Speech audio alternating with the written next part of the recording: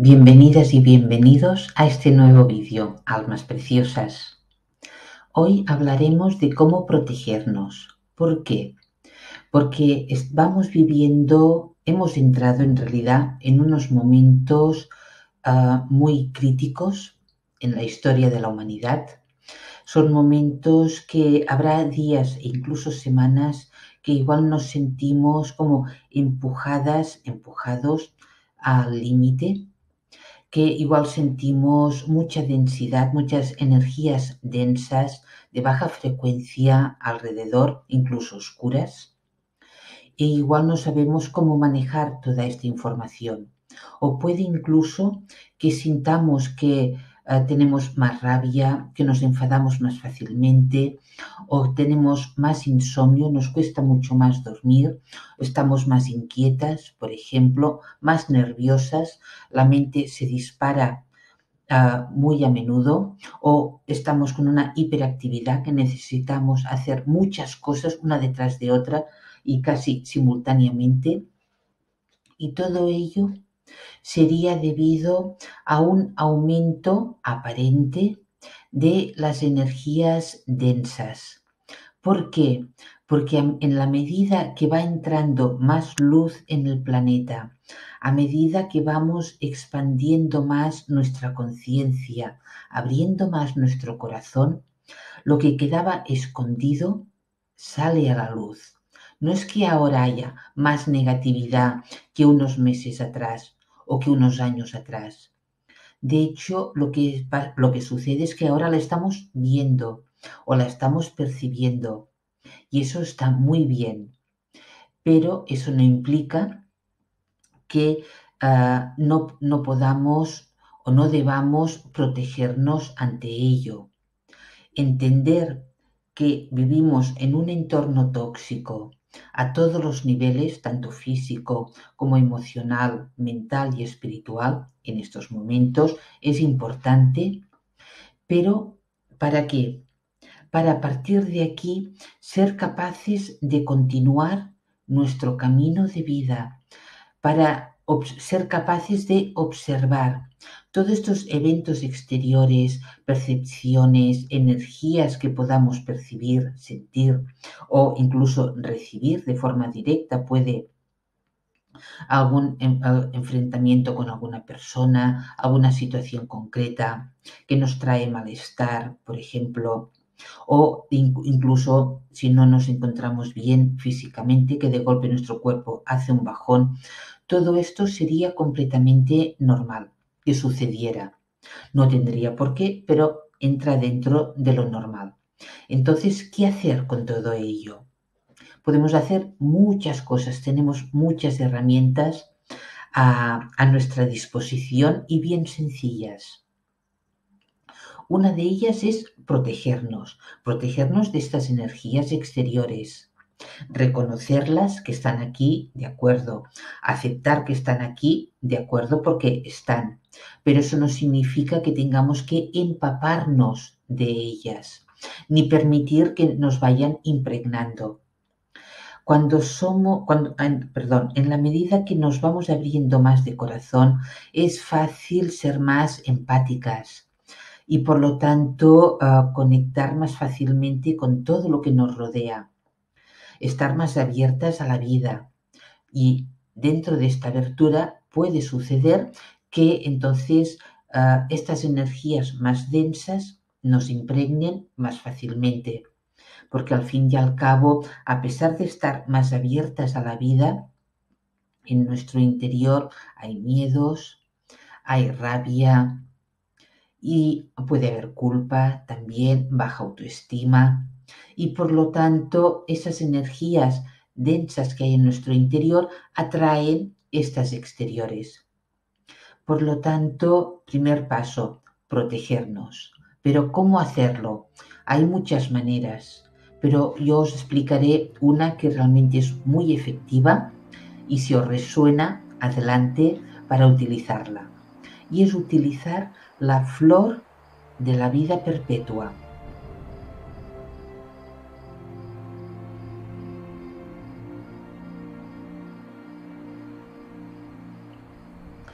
La flor de la vida perpetua es esférica en realidad, aunque la veamos dibujada en un plano y por lo tanto la vemos de dos dimensiones, es esférica.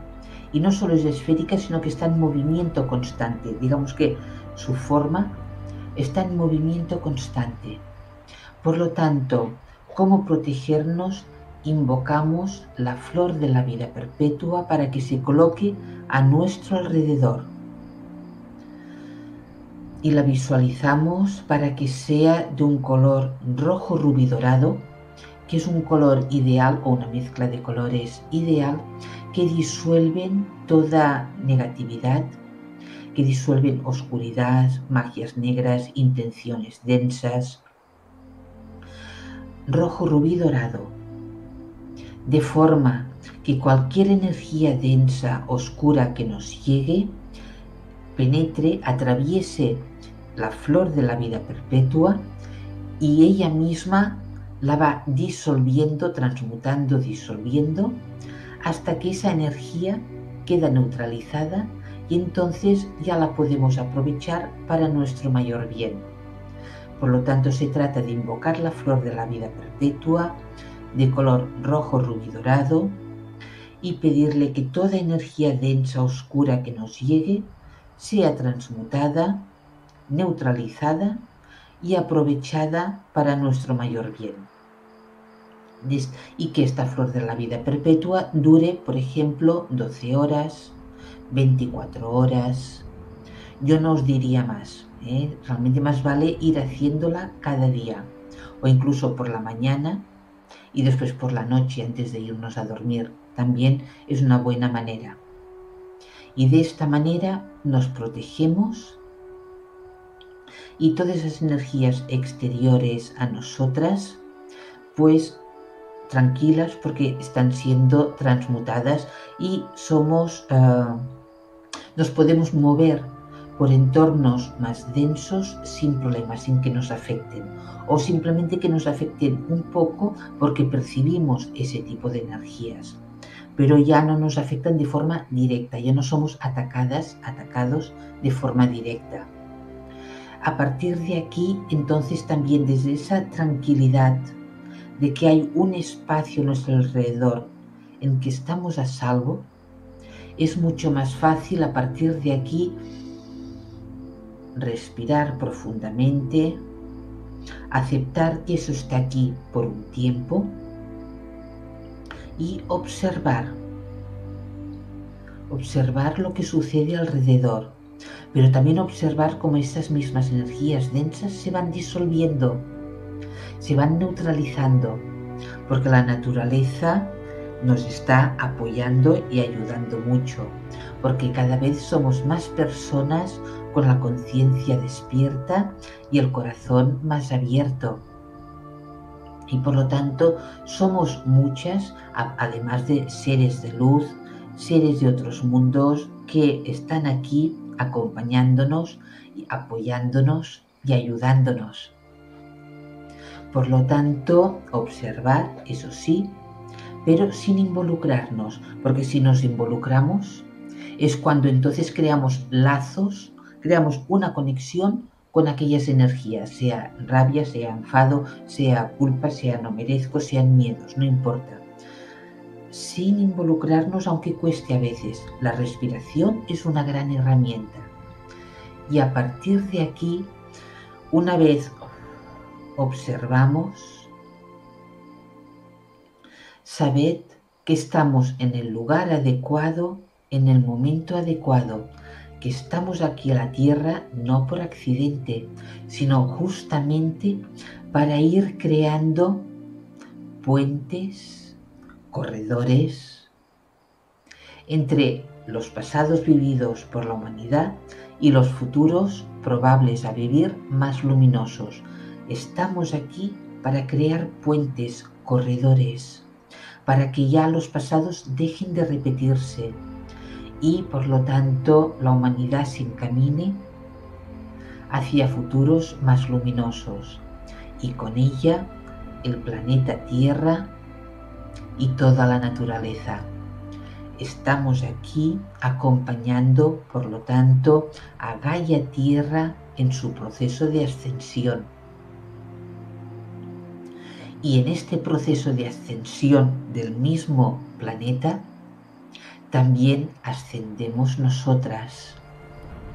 Y por lo tanto, es importante ir hacia adentro y preguntarnos, ¿qué he olvidado de mí misma o de mí mismo? Porque nuestro ser, nuestro ser superior, tiene memoria, conoce, sabe, almacena todo lo que hemos sido, todo lo que somos capaces de ser contiene todas las memorias, todos nuestros registros acásicos, pero conscientemente no nos acordamos. Una buena manera ¿eh? de acordarnos es preguntarnos, ¿qué he olvidado de mí misma? Y ponernos a respirar desde el corazón, inspirando y expirando solo desde el corazón, sabiendo que en el espacio entre inhalación y exhalación es donde hay la respuesta, es donde se asienta nuestro ser de luz. Y por lo tanto, en la medida que vamos inspirando y expirando lentamente, calmamos la mente y podemos recibir respuestas de nuestro interior, sean de forma inmediata, sea al cabo de un rato o de un día. Pero lo importante es, a pesar de, todo, de toda la agitación que podamos sentir o que podamos vivir puntualmente algún día, alguna semana, encontrar un momento donde aquietarnos, protegernos, ir hacia adentro, observar, observarnos. Porque nuestra tarea en realidad es expandir nuestra conciencia mientras contribuimos a que la conciencia se expanda en la tierra. No se trata de luchar, no se trata de vivir conflictos, ni tampoco de agazaparnos por los miedos. Se trata de, a pesar de todo ello, que parece que nos crea un reto realmente a nuestro ser, ir más allá. Expandir el corazón, expandirnos de autoestima, felicitarnos porque estamos aquí, porque a pesar de todo ello, somos capaces de continuar adelante, somos capaces de continuar abriendo el corazón y la conciencia e ir más allá.